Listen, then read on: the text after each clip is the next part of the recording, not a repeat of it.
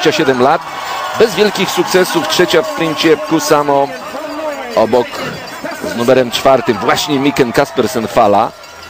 Typowa, klasyczna sprinterka, pewno nam wszystkich tutaj nie pokaże z bliska realizator.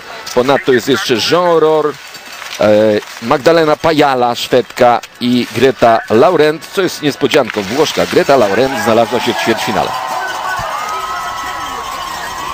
I od razu bardzo mocno Perrin Jones, a tam obok niej e, biegnie również Kanadyjka i biegnie również Fala. Fala rewelacyjnie e, biega sprinty. E, Ja pamiętam ją z tych e, zawodów sztafetowych, gdzie ona jest wystawiana razem z Biergen. Także ona jest jedną z lepszych sprinterek widzianych w Norwegii. Natomiast nie mogła sobie wystartować w tych pierwszych zawodach, bo była chora, więc dlatego tutaj się przygotowała na, na te zawody, na te sprinty. E, Zresztą świetnie poradziła sobie również w klasyku, e, w biegu, który mieliśmy dwa dni temu. W ubiegłym roku Wrogla wygrała sprint, była druga w Szklarskiej Porębie. Pamiętamy, tam wygrała Ingemarsdotter, którą, e, Szwedka, którą zobaczymy w trzecim biegu, kolejnym. No i tutaj Szwedka i Norweszka, czyli e, Fala i Pajala. Nawet się ładnie rymuje, Fala i Pajala. A tam za nimi dalsze zawodniczki.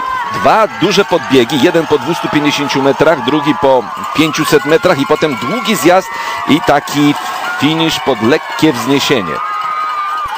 To jest właśnie ten największy podbieg. Trasa trudna, Justyna mówi, że to jest najcięższa trasa sprinterska chyba w tym Pucharze Świata. Być może tak jest, w ogóle te trasy są dość tutaj mm, trudne, ale jak widzimy świetnie przygotowane. Ta mieszanina śniegu tutaj, no idealnie chyba e, się biega zawodniczką i dodatkowo jest jeszcze szeroko, więc tutaj nie ma możliwości, właśnie nie ma zagrożenia jakiegoś konfliktu. No takie trasy się zdarzają, ale to są właśnie takie wymarzone dla zawodników. Szeroko, twardo e, i jeszcze śnieg taki firnowaty, jak my to tym swoim sloganem mówimy, czyli wymieszany e, sztuczny z naturalnym. Jest i jeszcze pogoda do tego, także wszystko jest ekstra. Greta Laurenta niespodziewanie, yy, ta Włoszka, która awansowała do ćwierćfinału z numerem siódmym już ostatnia, biegnie 20 lat zaledwie ma. E, Dziewczyna 6 startów w Pucharze Świata. No i już jest jak być powinno, czyli fala, e, za nią Pajala. I ten zjazd, niby jest łatwo, ale też są pewne chyba zagrożenia, jak się zdekoncentruje na tym zjeździe. W momencie, kiedy zawodniczki bijadą blisko, to tak można tam coś e, jedna drugą zahaczyć, ale jest tak szeroko, e, że coś takiego nie powinno się zdarzyć. To Tsienko w tej chwili na drugim miejscu. Tam idzie Kanadyjka też po zewnętrznej, Perrin Jones.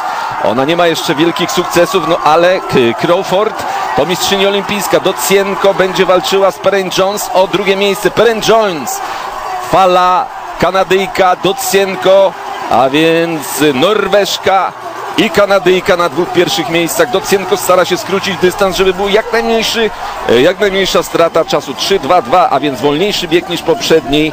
Mm, Dwie dziesiąte Perrin Jones za falą, Docienko 0,6 dziesiątych, a zatem Fabian e, no, w dobrej sytuacji na razie. 2,59,7 miała Denis Herman w tym poprzednim biegu, przypomnijmy.